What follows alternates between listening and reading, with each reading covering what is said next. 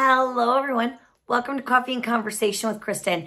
It is freezing if you are in the Midwest. We have been negative like 10, 15, even up to 25 below this last week or so. So um, if you have a favorite sweatshirt that you wear to warm up, uh, I commend you. You probably will see me in this one quite a few times in videos because it's the winter here in Wisconsin and this is my favorite go-to right now. So hopefully you have a favorite go-to and something hot to drink as well quickly wanted to come by you because getting a lot of questions as people try to prepare for down payment, closing costs, things like that. The answer to can I use my credit card for down payment? No.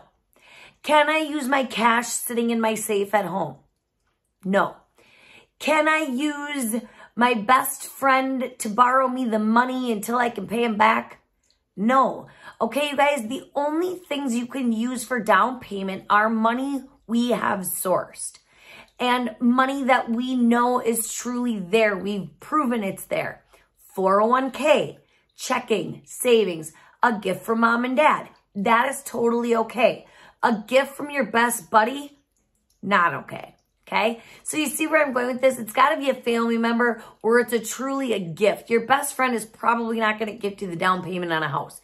That would be a loan. Then we need loan paperwork. Okay. Same thing with a credit card. You're borrowing that money and then there's a payment there. So, um, same thing. You can borrow on a secured loan, meaning you can buy against, borrow, I'm sorry, borrow against like a vehicle and utilize that.